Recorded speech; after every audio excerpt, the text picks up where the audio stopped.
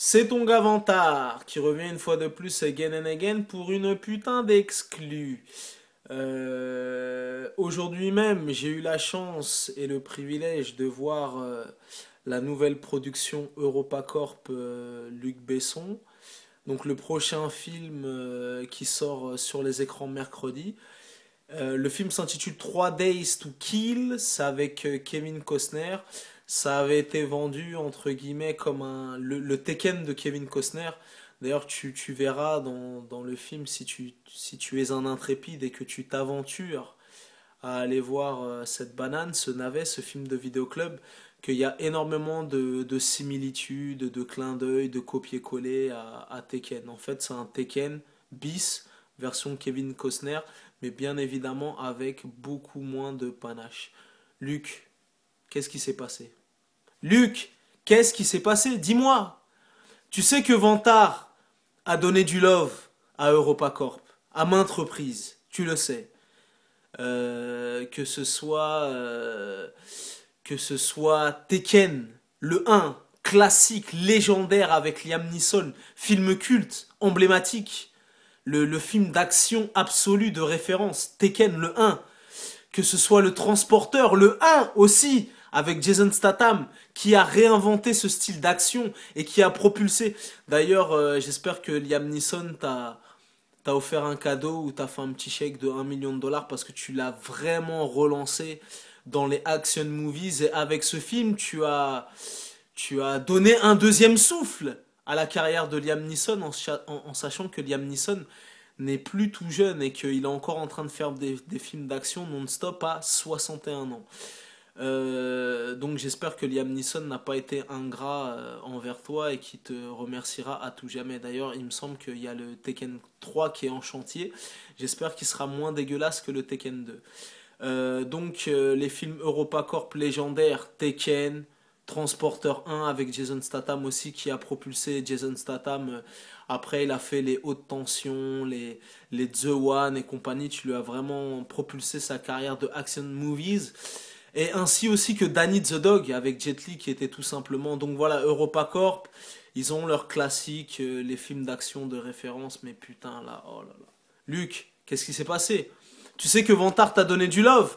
Même le film euh, que t'avais produit, euh, enfin une production EuropaCorp ou une, une distribution EuropaCorp, L'Immortel, avec Mister Jean Reno, méga classique aussi, légendaire. Là, Luc, je, suis désolé, je peux pas te donner du love pour ce film, je, ne peux pas cautionner. Euh, on est en 2014, trois galipettes dans un film et une explosion, deux fusillades, une gifle, c'est plus possible en 2014. Le, niveau d'exigence, le, est height. Donc euh, là, ça passe pas. Donc euh, Après, après ça n'engage que moi, hein, Luc. Hein. Je, suis désolé, t'as vu, je t'ai donné du love. Je sais que je dis ça parce que Luc, il, a le bras long, hein. c'est un mafieux. S'il veut, euh, il passe un coup de fil, il fout un, contrat sur ma tête et mon anniversaire c'est le 31 mars. Ça se trouve, je, je, pourrais pas souffler les bougies de mon truc parce que Luc Besson, il a, il a le bras long, c'est un mafieux. Je rigole, lol. Bon, plus sérieusement, ce film est tout simplement nul à chier. C'est une banane, c'est un film de vidéoclub. Kevin Costner, il avait 59 ans, fallait le ménager. Euh, MCG, je sais pas quoi, là, le, réalisateur de 3 Days to Kill, il avait que des bananes à sa filmographie. Euh, Charlie et ses drôles de dames. Euh, Terminator 5, la Renaissance, qui était tout simplement dégueulasse. Euh, ainsi que Target avec, euh, avec Tom Hardy et Crispin aussi qui était tout simplement dégueulasse. Donc voilà, il n'est pas connu pour avoir fait des, des blockbusters de légende et d'envergure. Donc le film est tout simplement nul à chier, grosse déception, douche froide. Euh, le, le, film est tellement nul que ça en devient comique, tu vois, ça en devient... franchement Luc, je suis désolé, t'as vu moi, Vantard, je t'ai donné du love je suis bon public, mais là pour ce film-là, je ne peux pas cautionner, je ne peux pas laisser les gens aller voir ce film. Les, gens vont se dire ça va être le Tekken de Kevin Costner parce que c'était vendu un peu comme ça, comme un film d'action survitaminé. À l'arrivée, c'est une de ces bananes. Oh mon dieu, c'est atroce. J'étais avec un de mes potes, un collègue de taf. Le film était tellement nul qu'au bout d'un moment, j'ai décroché. J'ai pris mon iPhone et euh, voilà, j'étais sur, euh, sur Twitter, sur Facebook pendant au moins 30-35 minutes. Tellement ça se traîne en longueur, tellement c'est nul, tellement c'est bourré c'est bourré de clichés tellement le scénario est... Tu vois, je suis bien d'accord que c'est une fiction. Donc bien évidemment, quand tu vois des explosions, des gars qui sautent de toit en de, le gars qui prend 15 balles dans le corps, il est encore vivant, mais au bout d'un moment, il faut quand même que ça reste crédible. Oh. Horrible, atroce, grosse déception. Donc t'as vu là, je te mets en garde. Euh, les goûts et les couleurs, ça ne se discute pas. Si, si t'as la vie de Vantard, c'est toujours le bon. Si tu veux quand même faire l'aventurier, tu veux faire le mec téméraire, vas-y libre à trois. En tout cas, quand tu te seras mangé un fist fucking dans le fion, que tu vas ressortir du cinéma en titubant, en doigtant avec un filet de sang qui coulera de ton fion, faudra pas dire que je t'ai pas prévenu. Il est dégueulasse, putain, mais oh là là. Aucun aspect positif à la rigueur, ça m'a fait plaisir de voir la belle et la délicieuse Amber Red, Amber Heard, qui est tout simplement sublime. Mais franchement, à l'arrivée, putain, oh là là dépité. Je suis sans mots, je suis resté les bras ballants. Par contre, à la rigueur, si tu veux rigoler, euh, comme je t'ai dit, je sais pas si je te l'ai dit, le film il est tellement nul que ça en devient comique. Là, par contre, si tu veux rigoler à, gorge déployée, te rouler par terre et compagnie, tu peux aller le voir, tu vas rigoler tellement le film est ridicule, plein de clichés, tu vas te taper des barres. Donc voilà, c'était l'avant-première. Gaumont, euh, Stade de France. À la fin du film, aucune standing ovation, le calme plat. Les gens sont rentrés dépités en regardant leurs pieds, en se dirigeant vers la sortie. Et voilà, en tout cas, c'est un gros film comique. Et, en plus, t'as vu, regarde là, j'ai pris le. J'ai pris le. Tu sais, t'as le magazine. Comment il s'appelle ce magazine? Je sais plus. Tu sais, le magazine qui sort tous les lundis, là, dans. À nous Paris. Voilà. Eux, apparemment, ils l'ont vu aussi en, avant-première, parce qu'après, tu vois, tu pourrais dire, ouais, mais Vantard, t'es parano, t'abuses, t'exagères. Je vais juste lire la, la, critique de, du magazine À nous Paris, qui ont sûrement dû voir le film. Alors, je te lis la critique qui va un petit, un petit peu dans mon sens.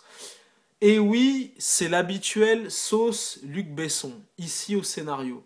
Une sauce qui commence sérieusement à sentir le réchauffer et qui entre clichés humour lourdingue et violence gratuite nous fait friser l'indigestion, malgré le plaisir de retrouver Kevin Costner. Tu vois, donc à mon avis, et Vantart annonce la prophétie, t'as vu, cette chronique arrivera avant la sortie, euh, c'est-à-dire le 19.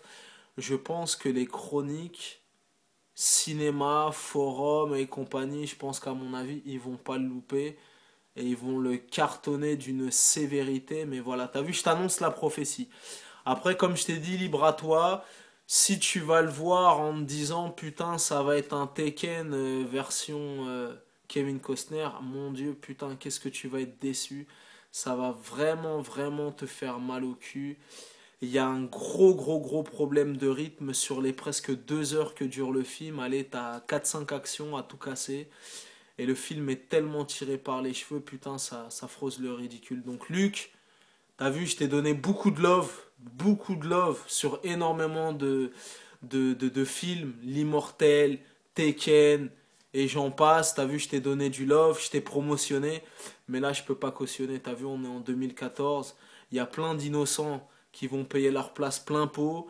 Ils vont y aller avec leur meuf, 11 balles. Ça fera euh, avec sa meuf 22 balles plus les pop-corn, plus la glace à Dads, plus le iced tea, plus le coca, qui vont, en sortir pour 50 balles. Et à l'arrivée, gros fist fucking dans le fion, et je peux dire qu'ils vont pleurer toutes les larmes de leur corps. Donc t'as vu, les, goûts et les couleurs, ça ne se discute pas. Dans cette vidéo, tu as exclusivement l'avis de Vantard, qui ne reflète pas l'opinion générale. Bon, quoique la chronique de Hanou Paris euh, me suit un petit peu dans mon sens. Si tu vas aller le voir, euh, ce sera à tes risques et périls. Si tu es téméraire, si tu te sens aventuré, en tout cas, tu pourras pas dire que je t'ai pas prévenu pendant 10 minutes dans cette vidéo. Peace and love. Luc, en tout cas pour Tekken 3, tu as intérêt à faire le taf. En, tout cas, j'ai vu la, bande-annonce de Brick, Brick Mansion.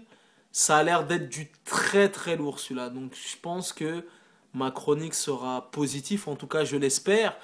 Et ce fameux même réalisateur qui, va, qui a réalisé Brick Mansion, il me semble que c'est lui qui sera aux manettes et aux commandes de, de, de, du reboot ou, de, ou du remake ou je sais pas quoi, du spin-off de, de la nouvelle trilogie euh, Transporteur.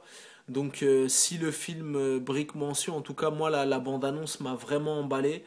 Euh, le, réalisateur en question a l'air d'être talentueux et prometteur. Donc voilà, donc c'était ton Gavantar, Peace and Love. Donc aujourd'hui, entre Monument Men, voilà, c'est la chronique, ma chronique de Monument Men est disponible aussi sur cette chaîne.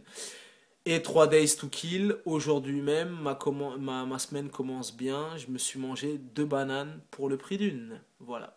C'était ton Gavantar, Peace and Love.